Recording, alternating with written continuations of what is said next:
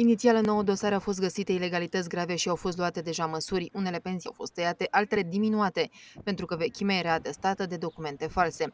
Între timp, numărul dosarelor cu probleme a crescut la 20. Pe fondul acestor verificări, un pensionar care primea ilegal aceste drepturi s-a prezentat la Casa de Pensii și a spus că vrea să returneze banii primiți în mod necuvenit în ultimii trei ani, aproximativ 24.000 de lei.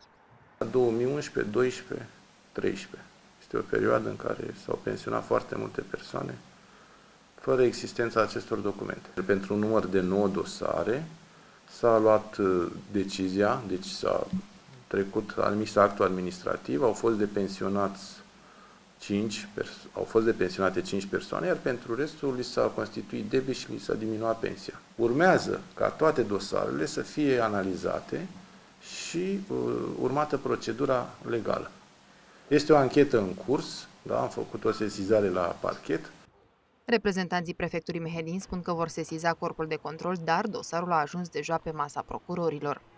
Domnul director de la Casa Județeană de Pensii de Sănătate, care e director de ceva timp acolo, va trebui să dea explicațiile necesare cu privire la demersurile legale pe care domnia sa le-a făcut în vederea corectării, îndreptării aspectelor uh, pe care singur le-a evocat în conferința de presă.